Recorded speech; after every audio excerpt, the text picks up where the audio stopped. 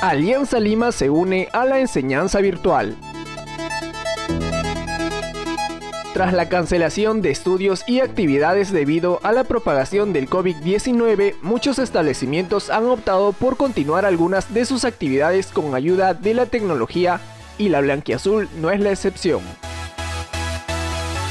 Alianza Lima ha decidido continuar con los estudios de la categoría menores de sub-20 2003, 2004, 2005, 2006 y 2007. Dichos estudiantes podrán acceder a la plataforma Aula Virtual Blanquiazul, la cual fue creada especialmente para complementar los estudios de los niños, pero centrándose en una enseñanza que fortalece su formación integral. La coordinadora del área de desarrollo humano de Alianza Lima, Eliana Sánchez, comentó lo siguiente con respecto a la enseñanza virtual.